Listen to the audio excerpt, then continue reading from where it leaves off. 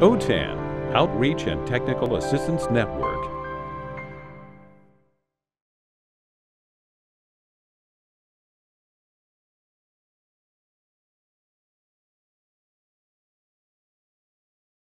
Hello, everyone. Welcome to our presentation today, HyFlex Model Recommendations for Students Access and uh, Success. Uh, my name is Jia Sun. I work for San Diego College of Continuing Education. Um, I currently serve as the uh, ESL Digital Literacy Coordinator. Um, I also teach a beginning level conversation class. Uh, I've been in the area for almost nine years. Um, again, thank you so much for joining our presentation today. Now I'm going to hand it over to uh, Monica. Hi, hi everyone. Thank you for coming today. I'm Monica Cueva and I am also at San Diego College of Continuing Education.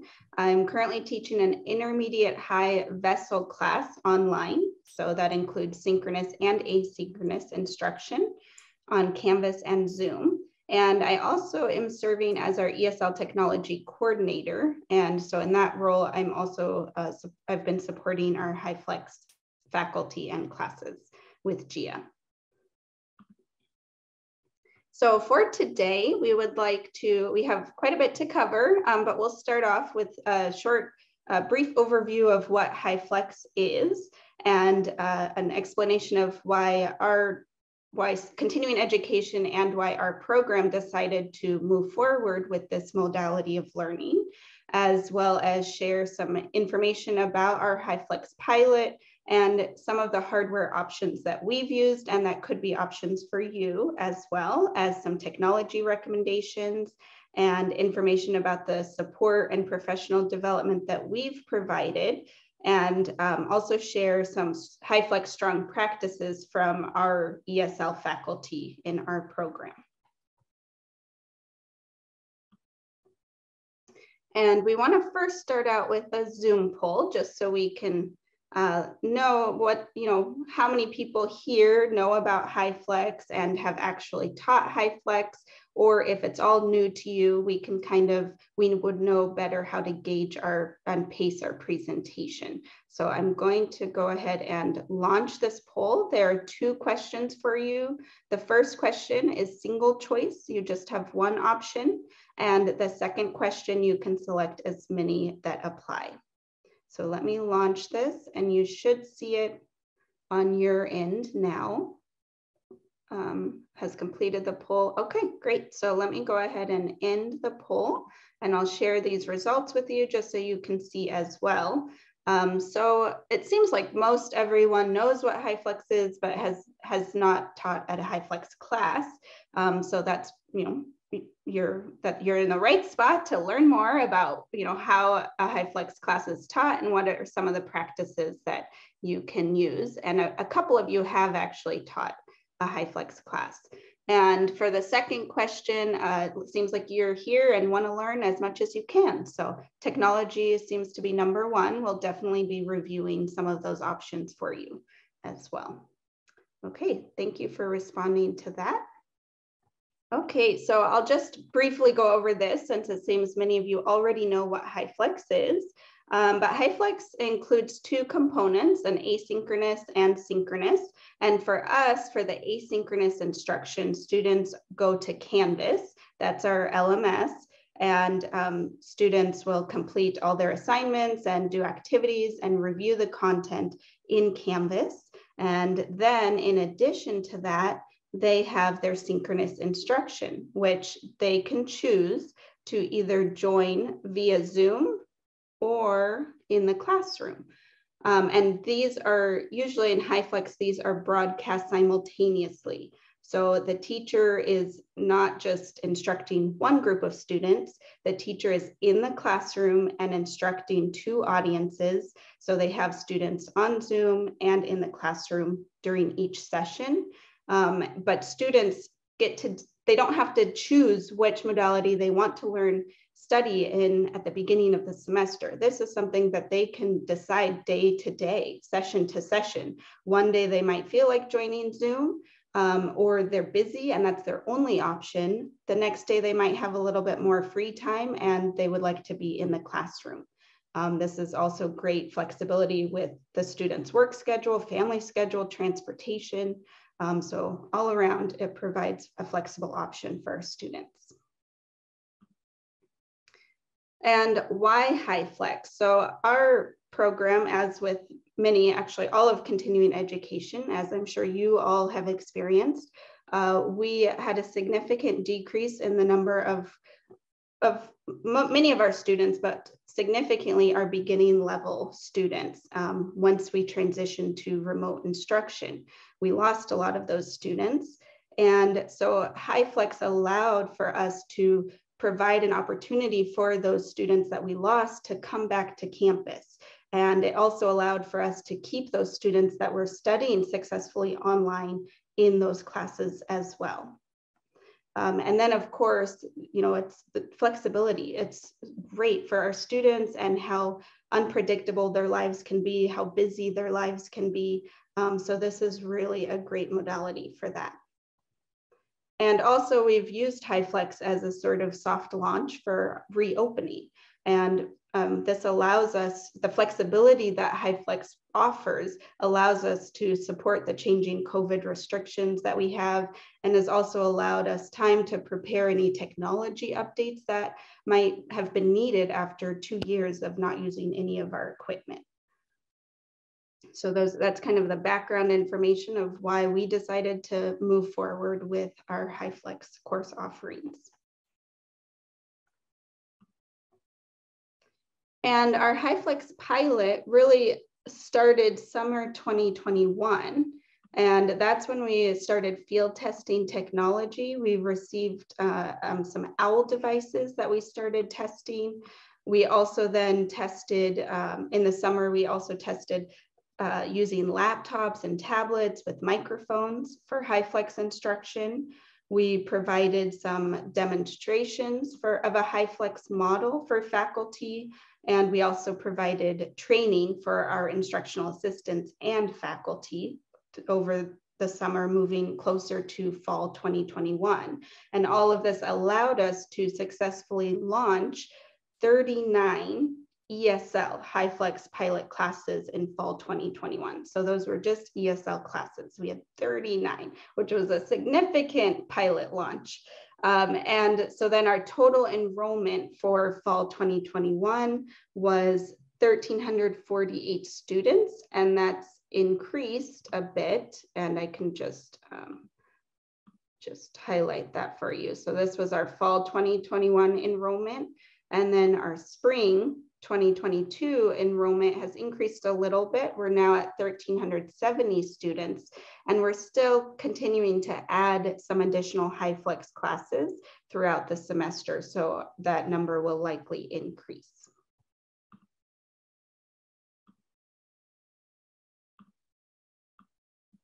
Okay, and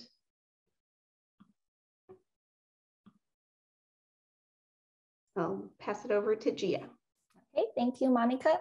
Um, so um, I'm going to show you three different HyFlex hardware setups. Um, the first one, um, as you can see here, is just to bring your laptop to the classroom. Uh, you can use the laptop built-in webcam and microphone, or here in this image, our HyFlex instructor, Ingrid Greenberg, added a microphone for better sound quality. The advantage of this option is that it's easy to get started. Uh, it does not require the school to provide any special technology equipment. Uh, it's budget friendly. Everyone can start a HyFlex class just using a laptop. The problem with uh, the first option is that the instructor is pretty much tied to the podium or the laptop. If the instructor moves around in the classroom, uh, Zoom students won't be able to see or even hear the instructor. Uh, and the second one uh, you can see uh, is the OWL camera. I'm not sure how many of you are familiar with this device. Um, it's a 360 degree camera, mic, and speaker. Uh, it's the combination of the three. Uh, the camera automatically tracks the active presenter. Uh, when there are additional in-room speakers, it will automatically start the split screen view to include all speakers. Uh, so the advantage of the OWL is that the camera follows the instructor, uh, so Zoom students won't lose teacher presence. Uh, the disadvantage of the OWL camera is that the microphone will reliably pick up audio within a 12 to 18 uh, inch radius. So that doesn't give the teacher much flexibility to move around the classroom. And another concern was uh, the second option is uh, student privacy. Uh, with the current COVID situation, uh, everyone is wearing a mask in the classroom, uh, so it's not a problem. However, um, if the teacher decides to record a HyFlex session, uh, we'll have to keep in mind to provide the students privacy. there is a way that you can lock the camera using an app on the smartphone, uh, but since the teacher is busy teaching, so it will probably require a second person, like an uh, instructional assistant to control the app. Okay, and the third option, um, uh, smart technology with ceiling mic and wall camera uh, is what SDCCE ESL program is currently using. As you can see in the picture, um, there is um, there are uh, two ceiling microphone panels, uh, a camera that is installed on the back wall of the classroom. Uh, the camera has three presets that you can set up to focus on different parts of the classroom. It requires a desktop um, um, classroom computer and an additional laptop. Um, on the podium, there is a touch screen control panel uh, and a content box that teacher will use to control what content to share on Zoom. So teacher will host a Zoom meeting using the laptop and uh, present the content on the classroom desktop. So this setup provides the best audio quality. Um, teacher and students can be heard clearly wherever in the classroom. Uh, the back wall camera with the three presets also allows the teacher to move freely in the classroom. Uh, the disadvantage is that, as you can see, uh, this setup includes several parts. It needs additional professional development. Uh, it takes time for teachers to get familiar with the system. Uh, also, if uh, any tech issue happens, uh, troubleshooting is not as easy as just one device. Okay, so these are the three technology setups our program has tested and used. Okay.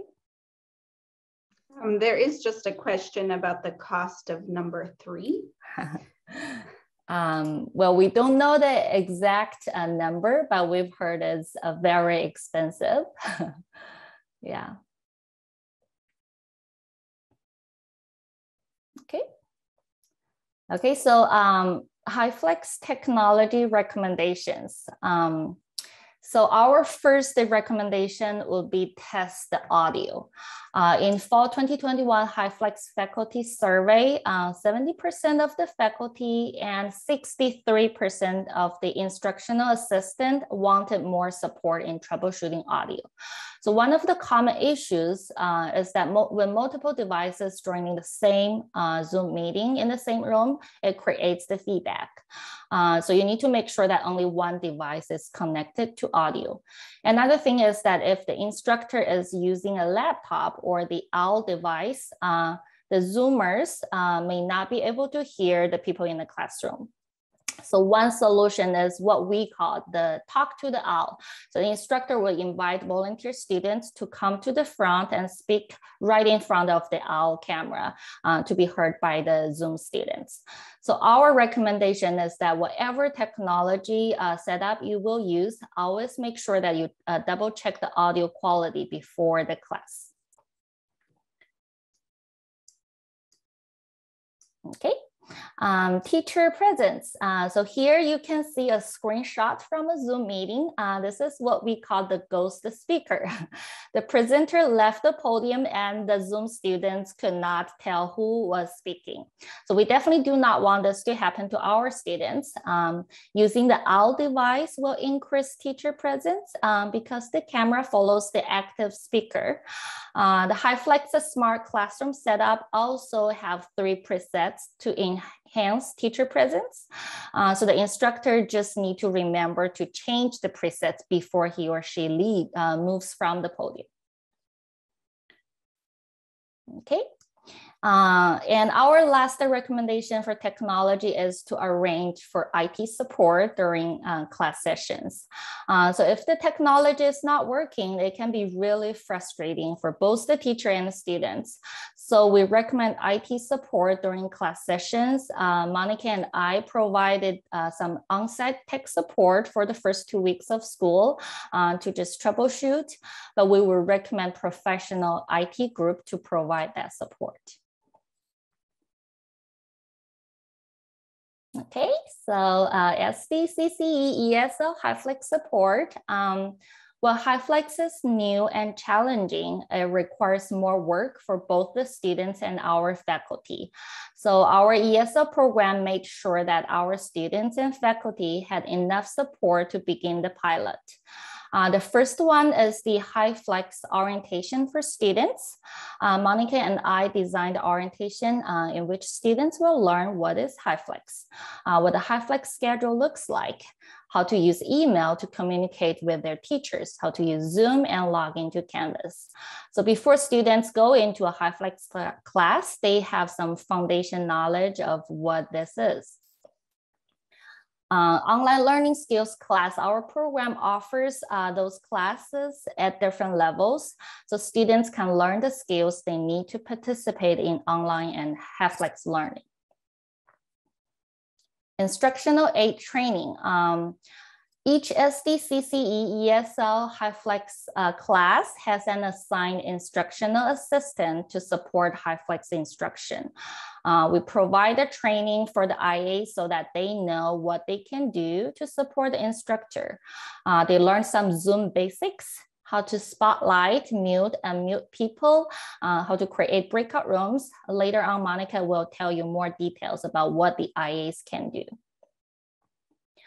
Uh, we had technology training for the OWL and the smart classroom. The top left picture, um, uh, you can see uh, is the OWL training. Uh, Monica was showing everyone how to use the Meeting OWL app on their smartphones. Yes, thank you. Okay.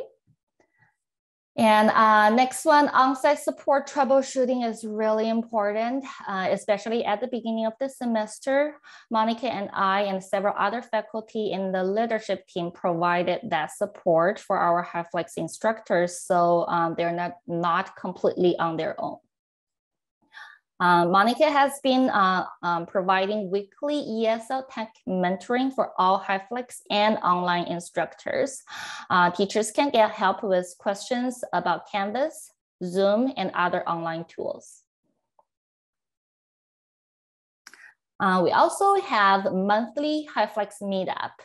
Uh, our HyFlex instructors communicate, share ideas at these meetups. Uh, it's a great way for them to collaborate and support each other. Uh, the bottom left picture is a screen uh, of our HyFlex meetup. Okay. Okay, so uh, now we want to show you what HyFlex looks like in the SD uh, CCE ESL program. Uh, we have included some HyFlex, um, strong HyFlex practices shared by our instructors. Uh, and we put them into three categories, um, engaging two audiences, working with instructional assistants, and um, building class uh, community. Okay, uh, I will share the first one, uh, engaging two audiences, and Monica will show you the rest too.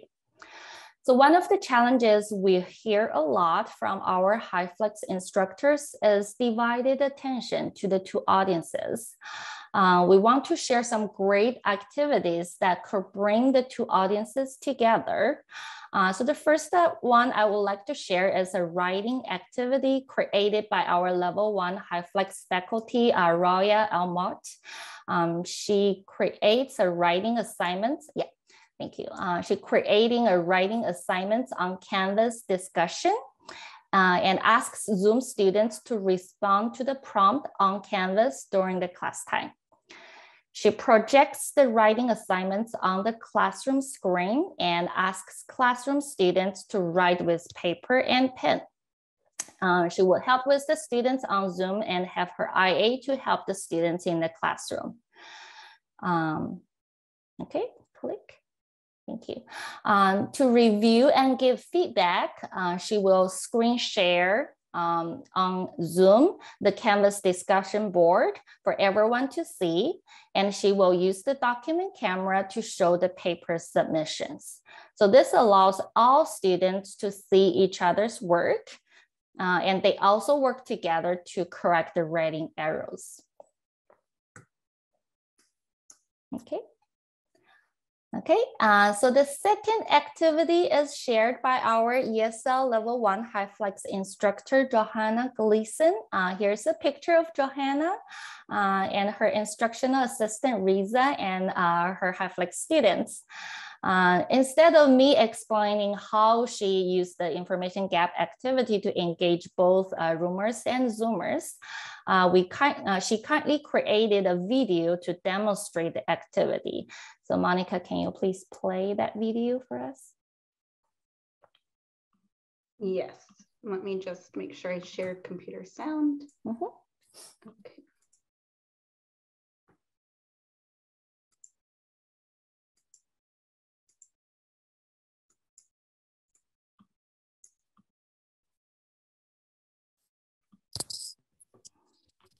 Hi, this is an activity that I do with my level one English class. We're learning about jobs. They know the names and duties of a number of jobs. I ask one student at a time to come to the front of the room and choose a piece of paper. Got just ripped up pieces of paper. They can't see what's on the paper. Okay, and they choose a piece of paper. They look at it and don't show anyone and all of the students in the class, both in the room and on Zoom, call out yes, no questions until they can guess um, what the job is. So, for example, um, and we've learned, we've practiced all of these, um, all of these questions and all of this vocabulary and when we first start the activity, I actually have this on the projector so students can see it. Okay, so after we've done that a few times, then I tell all the students in the room to sit down and I turn the projector off. So the students in the room can't see the image, but the students at home on Zoom can. And then I put a word and an image on the screen for the students at home to see. So the students at home will see what you see. The students in the room don't see anything. And the students in the room have to call out the yes, no questions. And the students home on Zoom have to answer the yes, no questions um, until the students in the room can guess the questions. So they'll look at this and maybe ask questions like, do you count money? Do you serve food? Do you sell clothes? Until finally, do you clean buildings? Yes, yay. Okay, so we'll do that a couple of times with those questions. Um, and it's a lot of fun.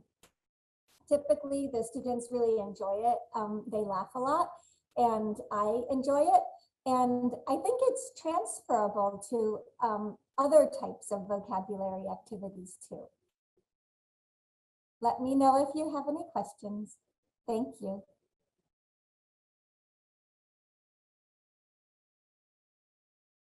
Thank you, Monica. Um, so we think, well, as you can see from the uh, video, we think this is really a brilliant way to engage both audiences. Uh, the Zoom students and classroom students all have to participate and uh, work with each other to get the correct answer. Um, so yeah, so thanks to Johanna who shared this great activity with us. Now I'm gonna hand it over to Monica. Thank you, Jia. um, so now I will go ahead and share uh, some of the amazing ways that our instructional assistants are helping our HyFlex classes. We really could not have gone through um, the fall semester of HyFlex and our current semester of HyFlex without the help of our instructional assistants. They have provided support for our students in so many ways. Um, and so I, we reached out to ESL faculty uh, member Ingrid Greenberg, who taught an ESL level one class in the fall semester. And we asked her how her instructional assistant, Ju, had supported her HyFlex class. And she gave us a long list of all the ways that her IA had supported. And we've just listed a few of those ways. Um, but you, as you can see from Ingrid's um, introduction here, the HyFlex model is very demanding on the, the instructor. So she says, while I was busy micromanaging technology in order to teach two student audiences during my HyFlex ESL level one class, uh, my PA or IA, instructional assistant, assisted with the following. Um, so that is a challenge. The teacher is very busy working with the technology, trying to work with two groups of students, and um, you know the the IA can just make help facilitate that. And so some of the things, as you can see, we have them listed here, and there's a lot more, um, but some of them are the IA would check for COVID-19 clearances as students came into the classroom. They might help by registering students for following semesters. We have a book, a textbook loaner program. So the IA helped students sign up for that program and get their textbooks. Uh, they might also help uh, students purchase textbooks that they might need for the class. They distribute handouts in class. Um, excuse me, sorry. They also, the so the instructor has logged into Zoom from their podium computer to be able to teach the students in the classroom and on Zoom. And so while the, the teacher is there, the uh, instructional assistant is on in the classroom as well on their laptop. And they've logged into the Zoom meeting as a participant and they are changed to co-host so that they can help admit students if there's a waiting room. Um, they can also alert the instructor if there are any problems with their audio or video, or maybe if students can't see what the teacher is sharing in Zoom. Um, so they're able to really help with, with um, the quality of the Zoom meeting for the remote students. And they also can help facilitate Zoom breakout rooms as well, and maybe answer any questions that might come through in the chat. And also Ju was able to help provide tutoring for to help students with Canvas and Zoom. And there were so many other ways that Ju provided support in the HyFlex class. And next, I'll also share how students uh, or how the teachers helped build class community.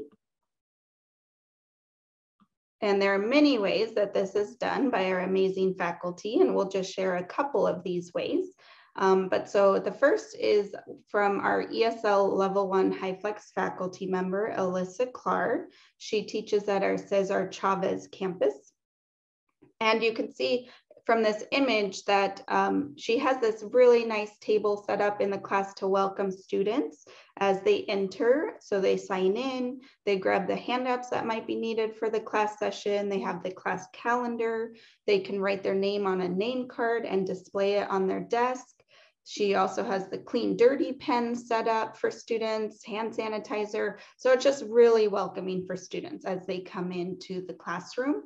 Uh, another thing that Alyssa does is that she recreates what already happens naturally in our face-to-face classes during break time, especially at the beginning levels. During break time, our students tend to um, congregate with other students that speak their same L1, their same native language.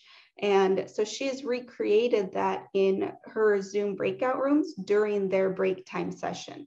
So she has a two hour Zoom session, um, a Zoom HyFlex session. And so they have a 10 minute break time. So she ends up creating same language breakout groups for students that so they can join for those 10 minutes and and speak with their classmates in their native language, ask questions about the class that maybe they they missed or didn't understand, and just to help them feel a little bit more comfortable with their classmates um, to help encourage persistence in the class. So we thought that was, you know, a really great idea. Um, it's not uh, directly um, related to instruction, but it, it does help with building class community. And we have another example from Johanna Gleason uh, about how she builds class community with her level one HyFlex class. So she creates a Google Slides presentation and she will have put students photos in this Google slide presentation of themselves or their family members, and she uses it for grammar practice. And this allows students to get to know their classmates and their families a little bit more and help build that class community.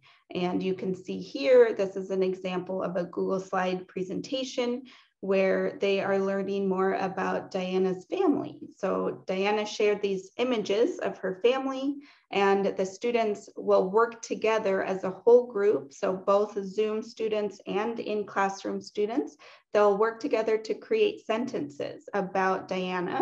Um, so they know that this is Diana's son, that her son has a dog, that her she has a daughter-in-law, and um, it just is really helpful in inspiring that classroom conversation. And she said even that students, after they do the, these activities, that they'll continue to ask questions about each other's family members and see how everyone is doing. And it's you know, for level one, some students are actually able to add their own images to the Google Slides presentation.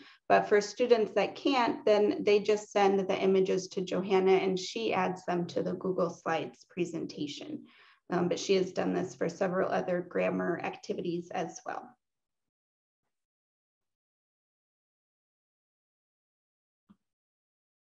And that is what we have for to go over for the HyFlex strong practices that we wanted to share with you. Um, some of the amazing things that our faculty are doing, and we have so many more um, things that you know our teachers are doing in the classroom and the ways that our instructional assistants are helping out as well. Uh, and I think we are now uh, moving, oh,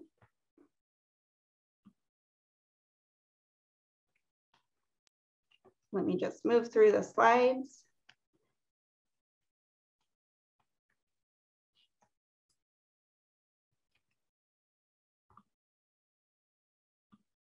And we are now at our questions and answers for you. So we wanted to open it up for some questions that you might have about HyFlex and what we are doing for HyFlex. And we see Barry, you have your hand raised.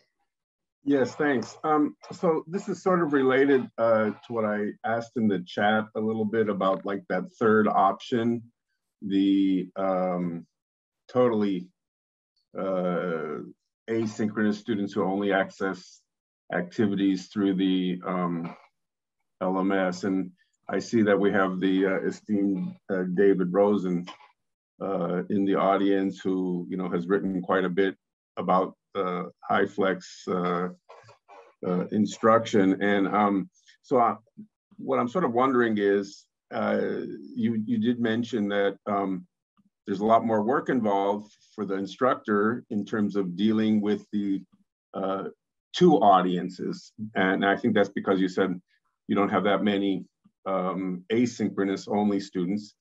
But in reality, if it's a, a flex program in the way that uh, David Rosen describes, there really are three audiences, correct? Uh, and so that's actually another audience. Uh, who's who's dealing with that? And then as a second uh, question, you know, a second part of that question is, if everybody is recognizing that these are increased uh, duties and responsibilities on the part of the instruction, uh, is there anything in, in the way of compensation uh, for your instructors who are doing this, uh, you know, type of instruction? Or is it, well, we're just doing it because, uh, you know, we need to keep up our, you know, the numbers of students in our classes and that's our compensation? That's the question. Know, thank you, Barry. Um, Jia, I don't know if you want to respond to that or? Mm. Okay, I can respond to the, the second question. Uh, okay. So for the compensation, we do have um, uh, currently uh, uh, the agreement is that uh, each, each flex instructor will get a one hour um, um, as their non-classroom teaching uh, rate. Uh, so we, our leadership to feel like that's just not enough for, you know, the professional development they have participated, the extra work they have done. So we have uh, proposed another uh, for the next school year. So we uh, are trying to request for 10 hours of professional development for a new HyFlex instructor and uh, additional five hours uh, the next semester. Um, so yeah. And uh, can you remind me the first question? The first one was that we technically have three audiences for HyFlex. Correct, correct. Uh, the only thing is when we uh, piloted these HyFlex models, uh, we started from like beginning level, like beginning level one and two. That's the, the our target group. So the majority of the students um, for their level, it's very challenging for them to only participate asynchronously. Yes, but if it's a higher level, um, yeah, there should be three audiences. And yeah. Mm-hmm. Yes, and we so are we are still you know trying to get those lower level students to um, complete the Canvas activities, mm-hmm. but that is the the same instructor. So the instructor is developing the, the Canvas portion of the class as well as teaching the synchronous portion of the class. And then they're dealing simultaneously with those two audiences when they are um, teaching their synchronous sessions. And I see another, there's a question in the chat. How is the IA funded? Is this something that can be um, or will be continued post-pandemic? So yes, we, we had IAs um, prior to the pandemic.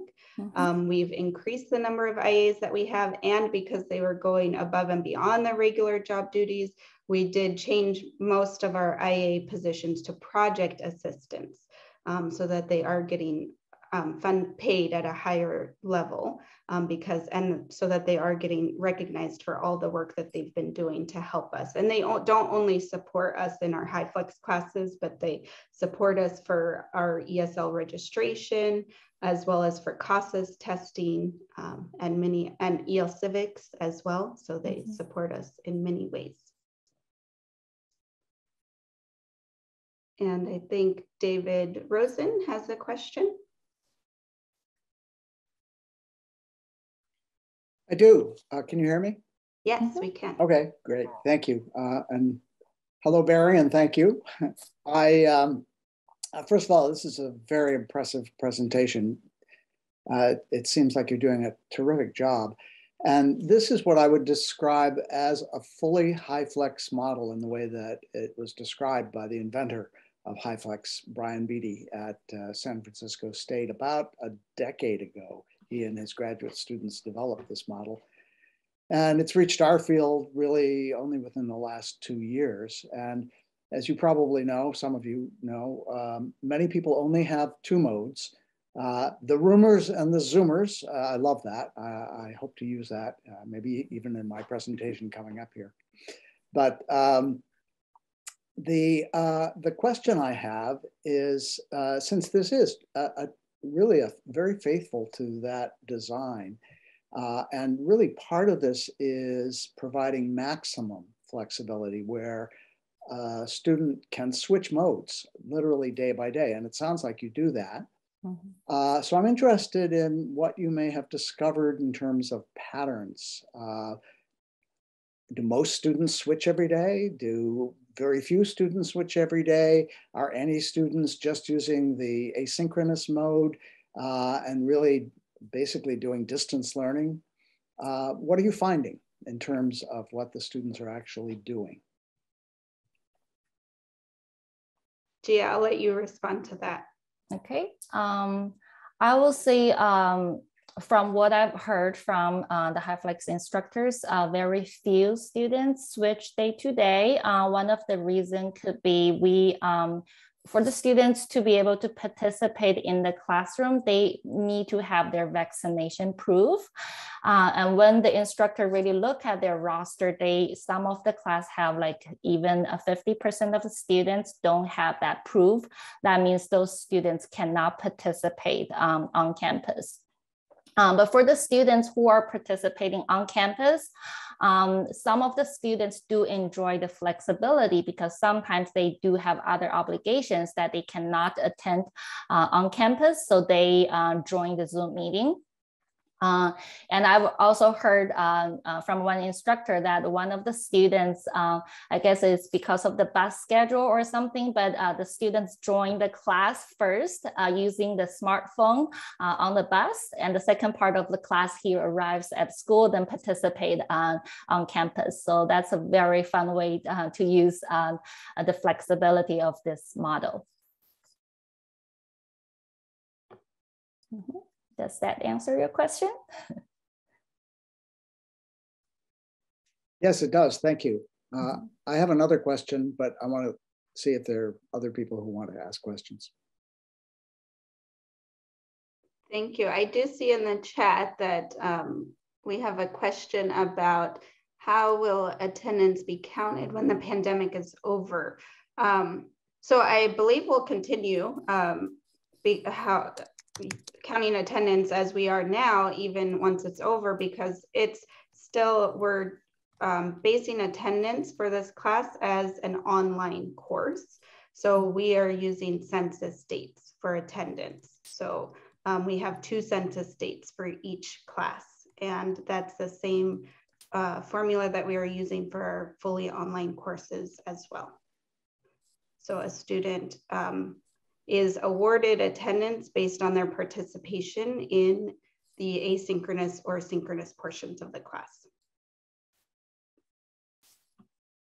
Um, and then I see the question, will the state of California recognize all of these different student engagement modes in their funding formulas? Um, I don't have the uh, information about that, but I imagine that's where we are headed. Um, and Okay, and would this model be at all feasible for schools that are not lucky enough to have IAs? How many students in a class would be feasible to serve with this model? Um, I would just strongly encourage that schools, um, you know, really advocate to have that additional support in the classroom as much as possible uh, you would def, you know, I, I think there are schools out there currently that are have adopted the HyFlex model without IAs. So I would mm-hmm. say, you know, it can be done, um, but advocate as much as you can to have them in the classroom. Uh, how many students in a class would be feasible to serve with this model?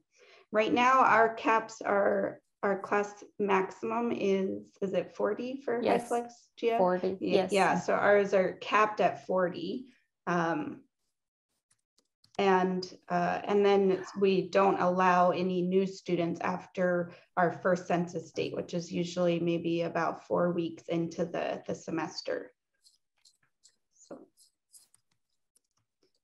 okay and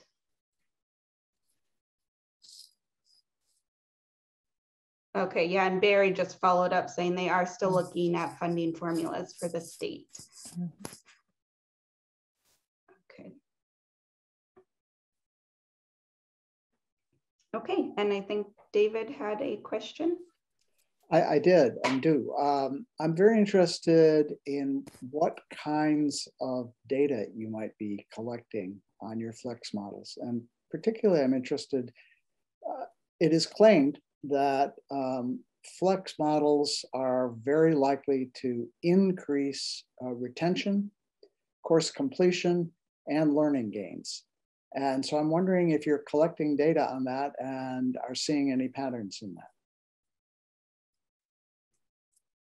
So we are currently not, but we always can make the request to our team to retrieve that data. And so I think, you know, as we get further along with our pilot, that that's definitely something that we will request to look at. Um, we also have our distance education online coordinator, Ingrid Greenberg, who is assisting with HyFlex instruction.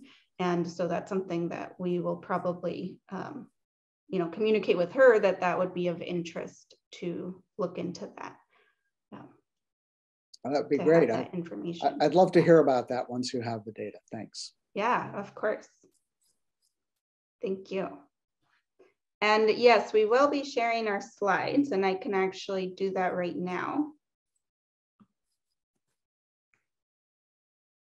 And I see um, Barry also said at the beginning of the pandemic, when we went to all online instruction, it was decided that attendance could be counted based on work performed in that period ended with the return to in-person instruction. It's not clear. Okay. I, yeah, I just know for us that we're continuing and we continued with our online classes prior to the pandemic and during the pandemic to go by um, recording attendance through census dates. And we've continued that now. And I imagine for our online and HyFlex courses, that will continue after the um, pandemic and shutdown, any closures that we have. Um, and I'm going to get the link for our slides and share that with you in the chat. Okay, so I put that in there and um, I think, did we have anything else, Jia? Mm -hmm. uh, I think that's it. Okay, well, thank you everyone.